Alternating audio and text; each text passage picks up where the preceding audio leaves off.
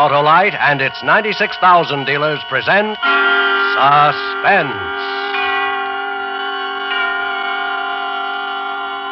Tonight, Autolite brings you After the Movies, a suspense play starring Mr. Ray Milland. I'd been called to jury duty a couple of weeks before all this happened. It was one of those kind of sensational trials. And the judge told us jurors not to go out in any public places where we might be approached or influenced. So I'd been sticking pretty close to the hotel.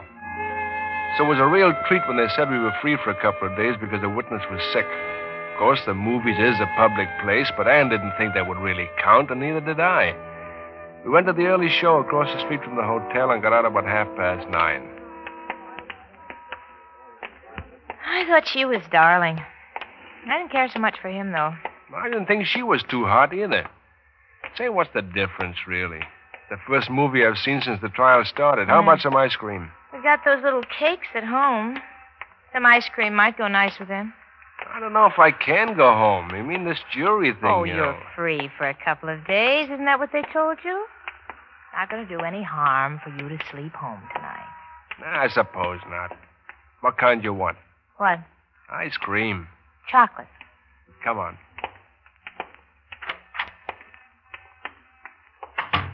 Well, well, hello there. How are you this evening, folks? Yeah, fine, just fine. What can I do for you? About a quart of ice cream, chocolate. Right? Say, how's the trial going? You're on the jury, aren't you? Yeah, but uh, I'm not supposed to talk about it. Oh, yeah, I should know better than to ask. Yeah, I bet you we have five, seven jurors a day come in here from the hotel across the street. Hey, you think you've been on this trial a long time? Some people stay on for months. Well, I'll tell you what I think about this Harmon fella. I'm not supposed to let anybody talk to me about it either. Oh, say, that's right. I forgot about that. Well, that'll be 60 cents. Yeah, I got it, Ann. Now, what did I do with my wallet? Oh, here. That's 60 out of one. And thank you. Well, I hope now that you know us, you'll trade here sometimes even after the trial's over. My name is Adelson. Well, I'm Mr. Bennig, and this is my wife, Ann. I'm happy to know you. I hope you'll be through with the thing real soon. I hope so, too. Good night. Al, Yeah. look what I found. What? An envelope on the floor right here. Somebody dropped something, huh? Yeah. It's open, too. I wonder if we should, you know, to find the owner. Say, Hey. Money, bills. Hey, let me see. how much is there, Al? Al? How much, Al? Ten thousand dollars. Huh? Ten thousand. Who dropped ten thousand dollars on the floor of a drugstore?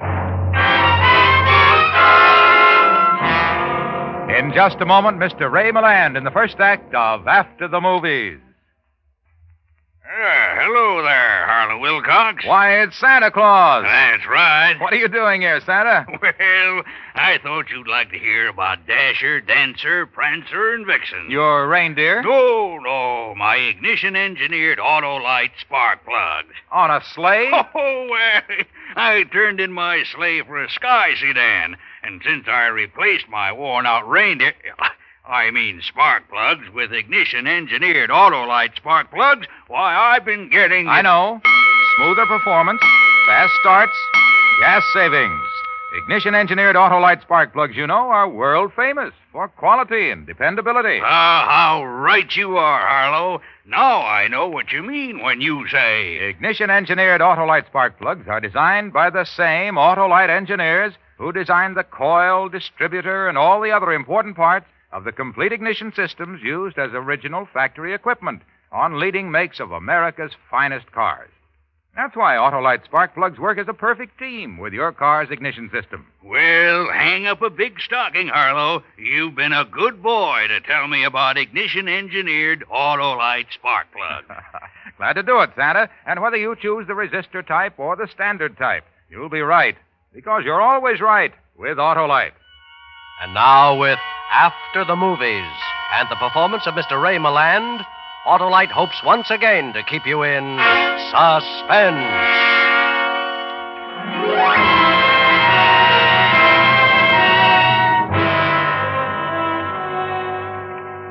$10,000? You mean the envelope was just laying there on the floor? I almost stepped on it, and then I picked it up, and I saw there was something in it. Al, what should we do? Well, gee, a thing like this, I, I don't know what to say. If I was you, I'd keep it. That's what I'd do. And uh, since it was in my store. No, no, we couldn't do that. Well, I could. It ain't stealing. You found it. And it was my store you found it in. We better turn it in. Look, if there's a reward, uh, we'll get together on it, won't we? There's some kind of a note in it. A note? Yeah, in with the money. This is your first half as agreed in. uh, no signature. Doesn't make much sense to me. Hmm, me either. Hey, hey, where you going with that money? If anybody comes looking for it, we live on Fifth Street, 229. If there's a reward, we'll see you get your share, Mr. Adelson. Come on, in. Don't worry, Mr. Adelson. Don't worry. Ten thousand dollars is a lot of money.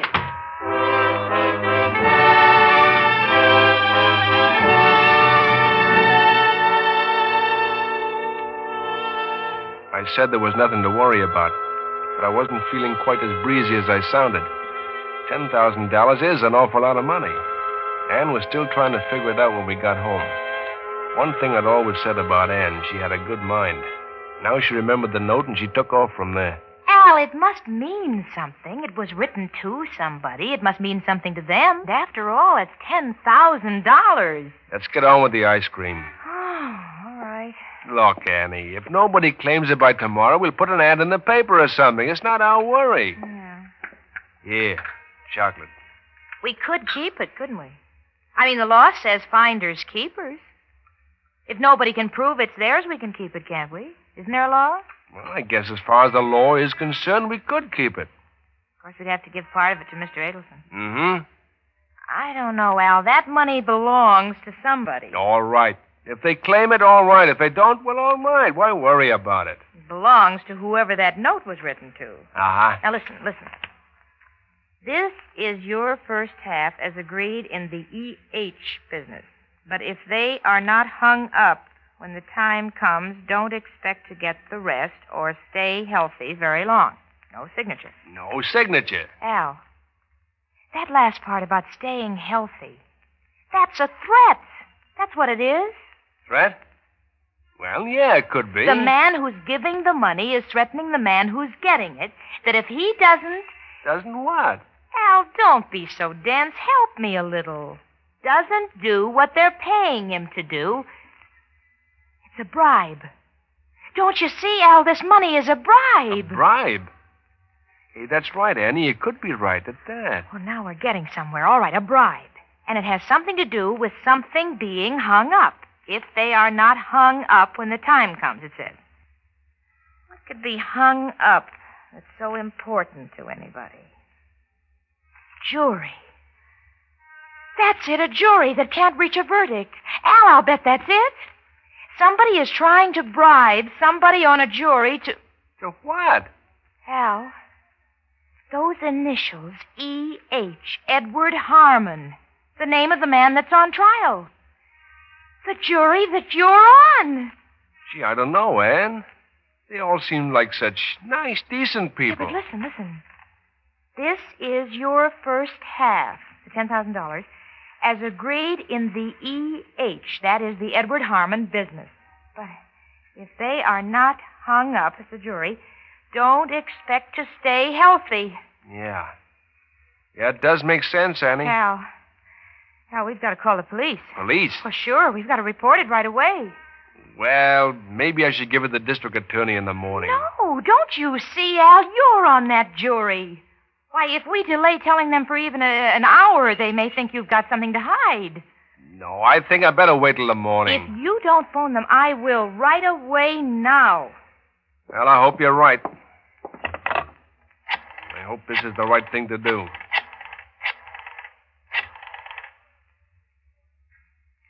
My name is uh, Albert H. Bennig. That's right. I live at 229 Fifth Street. Yeah. I want to report something to you. There's a drugstore on the corner across the street from the courthouse, and my wife and I were in there earlier this evening, and my wife found something. Yeah. Well, on the floor. There was an envelope with $10,000 in it and a note. And we think it has something to do with the Edward Harmon trial. Yeah. No, just my wife. Yeah, she's sitting right here with me. Yeah, that's what I think. You'd be doing me a great favor if you'd. Yes, we'd wait right here. We'd be expecting you. What did they say? They said they'd send somebody up just as soon as they could. Well, weren't they excited about it? Didn't they say anything? Well, Ann, I guess with people like that, these things are just sort of routine.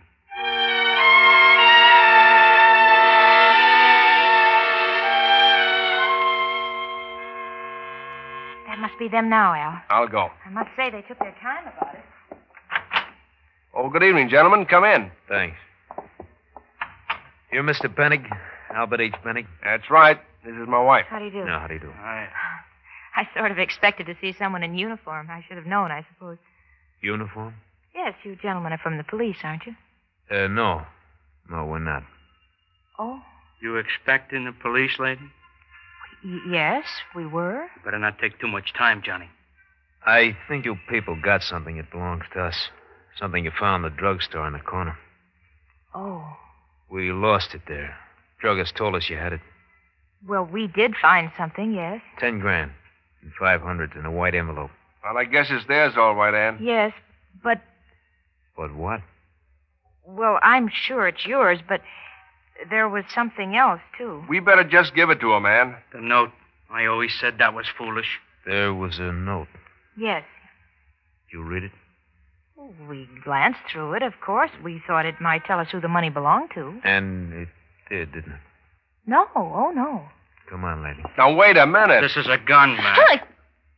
The note told you that the dough was to buy off somebody on the jury of the Harmon trial, didn't it? You talk too much, Johnny. Come on, let's get out of here. What's the difference? Use your head. All right, what about it, Mrs. Penning? How did you know it was in the note? We gotta know these things. We work for Mr. Harmon. We know you're on the jury, too, Mr. Penning. Al, Where are you from, Mrs. Penning? I mean, where do your folks live? What part of the country? why, Washington, Spokane, Washington. All right. Mr. Penning, you go on down that trial tomorrow just though nothing had happened. Anybody asks you about your wife, you tell them she's gone on a little visit to her folks in Spokane. Visit to my folks. The case will go to the jury on Friday. If everything goes like it should, your wife will be back here safe and sound first thing Monday morning. Oh, good Lord. But you can't do a thing like this. You can't. Be reasonable, Mrs. Pennick. We gotta. You people know too much about this thing. Well, we wouldn't say anything. I promise. I swear it. Now, how can we take a chance like that? Harmon is up for murder. Better get your things together, Mrs. Pennick. Go with us, Sam. We ain't got all night, though. I'll take the money, Mr. Pennick, before I forget it. Thanks. I hope you understand our position. What are you going to do? Well, obviously, the money went to the wrong party. So we got to use another method. If everything goes like it should on that jury, your wife will be okay. But if it doesn't. You can't. You can't do that. Oh, but we can. Saves us a lot of money, too. And, Mr. Bennig, not a word to the authorities. Your wife would make a cute corpse.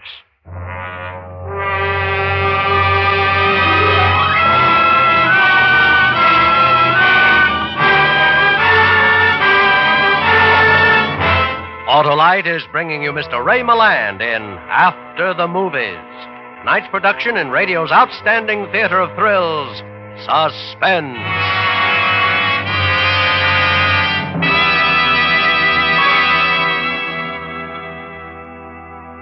Hey, Santa Claus, no kidding. Did you really name your Autolite spark plugs after your reindeer? I certainly did, Harlow. How come? Well, for one thing, those reindeer were always unexcelled for fast starts, smooth performance, and gas savings. And so are those ignition engineered Autolite spark plugs. Uh, they sure are, Harlow. And, of course, those reindeer are famous as a perfect team, just as ignition engineered Autolite spark plugs are famous for working as a perfect team with your car's ignition system. Because, you see, they're designed by the same Autolite engineers who design the complete ignition systems, used as original factory equipment on many leading makes of America's finest cars. Well, that's why you say they're ignition engineered, hey, Harlow? Sure, Santa. So, folks, see your friendly Autolite spark plug dealer and have him replace worn out spark plugs with ignition engineered Autolite spark plugs. And whether you choose the standard type or the resistor type, remember, you're always right with Autolite. And now, Autolite brings back to our Hollywood soundstage Mr. Ray Milland in Elliot Lewis's production of After the Movies, a tale well calculated to keep you in suspense.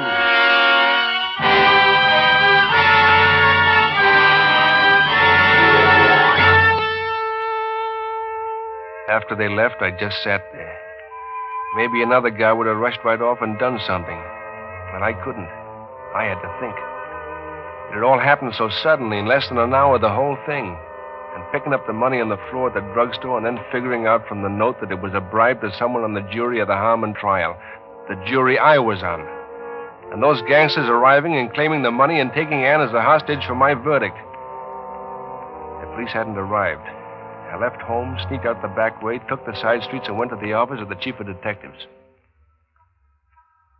So you came down here. What are we sitting here for? Why don't we do something? Well, we got to know what we're doing before we start doing it. Anyway, from what you told me, I don't think she'll be in any real danger. No real danger. She's been kidnapped by gangsters. But why? That's what doesn't make sense to me yet. I told you the money was some kind of a bribe. They thought we knew about it. But you didn't. How could we? Ann just picked up the money off the floor and. They said that they'd have her back by Monday? That's what they said. You can believe them if you want to, but she's my wife. Okay, okay. Um, what do these two cookies look like? I don't know. Average size, Doc, I think. I, I, I don't remember what they look like. Did you catch their name? I didn't ask them. You're not going to be much help for a while, are you? Okay, it's all right. Um, by the way, my name's Dan. Oh, oh. Mine's Al. You'll probably be seeing quite a lot of me in the next day or two, so we might as well get acquainted. And, uh, Al, Yeah. take it easy. We'll find your wife.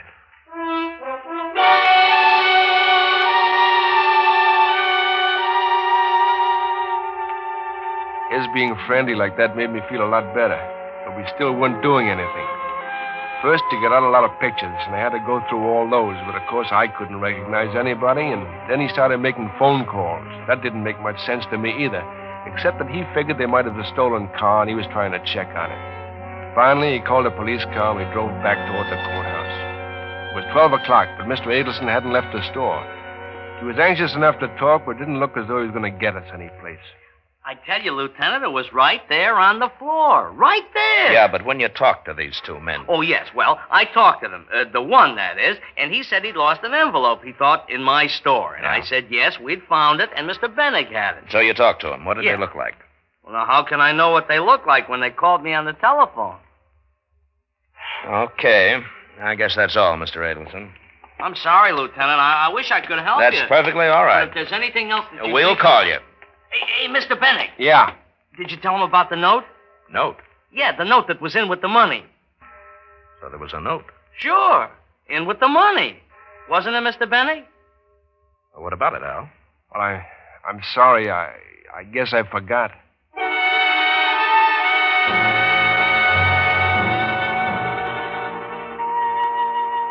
We drove back to Fifth Street and parked in front of our apartment.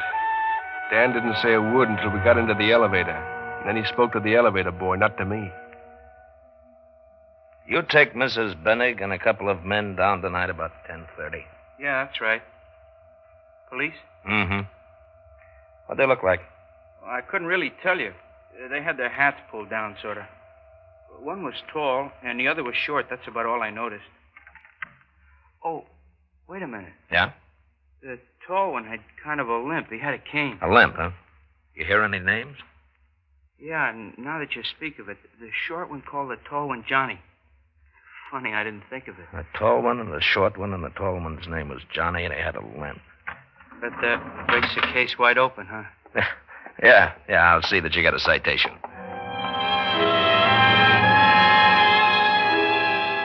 We got off at my floor, and I opened up the apartment, and we went in. And he still didn't say anything.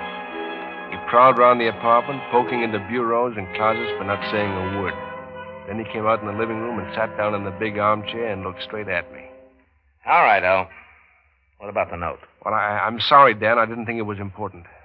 You're not sore, are you? Me? What have I got to be sore about it? Your wife. Yeah. And I, I'm sorry. Now, what about the note? But all it said was something like, this is the first half as we agreed and no signature. Have you got it? No. They took it when they took the money. And you couldn't remember that one was a tall guy and the other was a short guy, and that the tall guy's name was Johnny. But I was all upset. I didn't even know if I heard his name. Are you trying to protect her, Al? No, no. I've told you everything I can. Eh, okay, forget it. And let's see. A bribe. That means that somebody wants something or is on the spot. The fix will be on by Monday, they say. Now, who is there in this town that employs gunsels that would have a deal worth that much dough set for next Monday? Oh, there could be a million deals like that. Quiet, let me think a minute, will you? Johnny, a cane, and a short guy. It's on the tip of my tongue. And it wasn't so long ago either. Sure, sure. Why didn't I think of it? Think of what? Bill Quinlan, the defense lawyer in the Harmon case. Those are his boys. Had him up a dozen times. He always comes and gets them off. The Harmon trial? Yeah, this Harmon is up on a murder rap. A bank robbery, a guard was killed. His lawyer's Bill Quinlan. Quinlan's bribed more juries than I got hairs on my head, if you could ever prove it.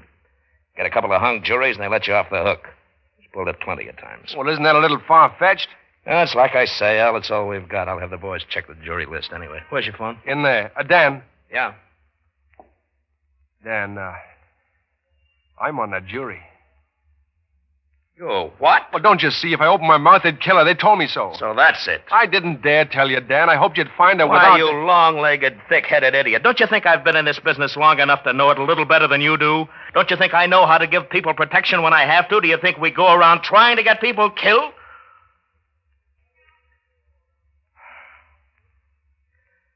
Do you know any more that you haven't told me? No. You know who the juror is they're trying to bribe? Nope. Yeah, okay. At least now we know where to start looking. Dan, Yeah. uh, you, you're not sore at me, are you? Me? No. What have I got to be sore about?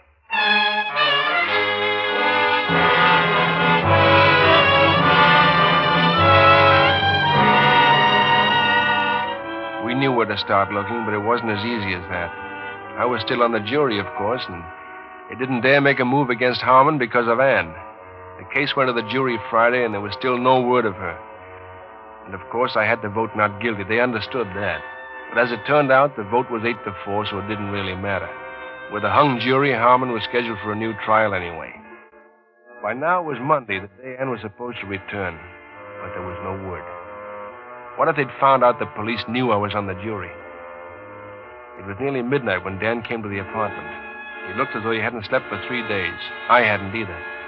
He told me to come along with him. He didn't say much until we were way down on Avenue C in the Lower East Side. Don't let it get out, fella, but I think we're going to come out all right. When'd you find out? About an hour ago, we trailed Harmon. That's why he got bail.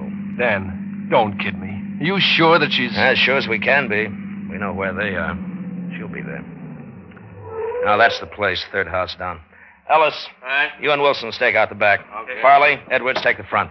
I'm going in. All right, get going. Okay, Lieutenant. Dan, Yeah. I want to go with you. Now, you stay in the car. I'm going with you. Okay, come on. Now, let's go. Now, there's a light in the front. They may give us a little reception. I'll, They wouldn't do anything to her. Would they, Dan? I'll try the door. Yeah, it's locked. Can we bust it open? I got a skeleton.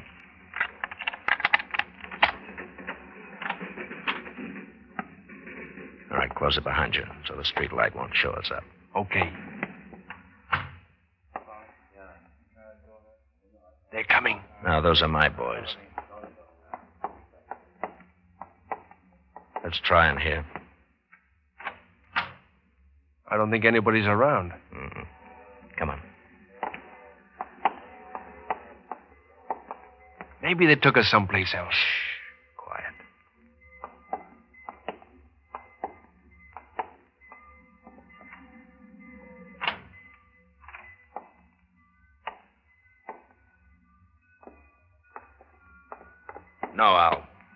Better stay out. Why? What is it? What is it? It's her, Al. Your wife. She's dead.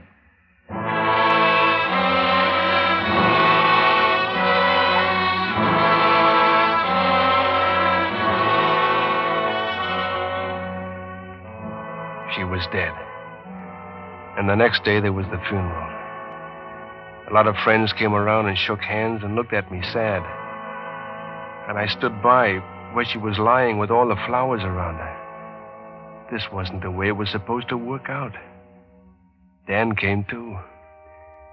For a long time he stood there, looking at her and my friends and me.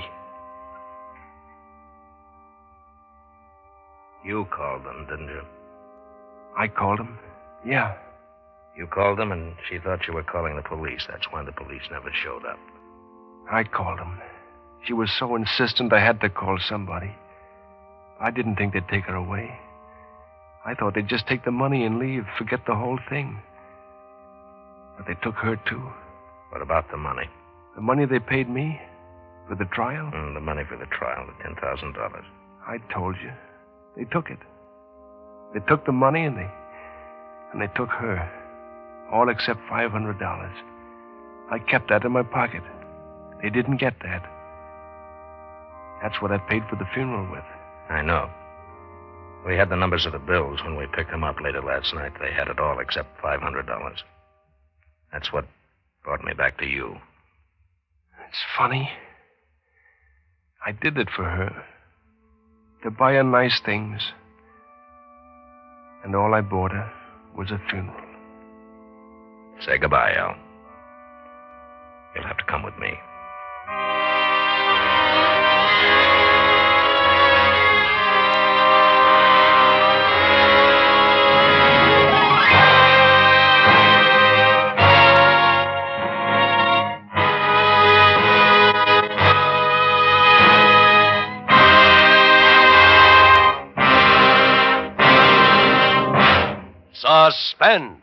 Presented by Autolite. Tonight's star, Mr. Ray Milland. At my workshop, we make toys for all the little girls and boys. We work hard to make 'em right, make 'em perfect, like Autolite. You said it, Santa. Autolite makes more than 400 products for cars, trucks, planes, and boats in 28 plants from coast to coast. These include complete ignition systems used as original factory equipment on many makes of America's finest cars. Generators, coils, distributors, voltage regulators, wire and cable, starting motors, all engineered to fit together perfectly, work together perfectly, because they're a perfect team. So, friends, don't accept electrical parts supposed to be as good. Ask for and insist on original factory parts at your neighborhood service station, car dealer, garage, or repair shop. And because all Autolite parts are original factory parts, you can be sure you're right, because you're always right with Autolite.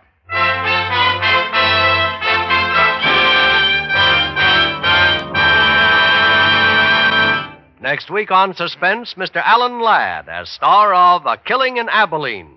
And in weeks to come, you will hear such famous stars as Dennis Day, Cornel Wilde, and Ginger Rogers, all appearing in tales well calculated to keep you in suspense. Suspense is produced and directed by Elliot Lewis, with music composed by Lucien Moraweck and conducted by Lud Gluskin. Parts of this program were transcribed. After the Movies was written for Suspense by Jack Finney and was adapted by Robert L. Richards and David Ellis. Ray Milland appeared by arrangement with Metro Goldwyn Mayer, producers of the Technicolor picture King Solomon's Mines, with Deborah Kerr, Stewart Granger, and Richard Carlson. And remember, next week on Suspense, Mr. Alan Ladd in A Killing in Abilene. You can buy world famous Autolite resistor type or standard type spark plugs, Autolite safe full batteries, Autolite electrical parts at your neighborhood Autolite dealers. Switch to Autolite. Good night. This is CBS, the Columbia Broadcasting System.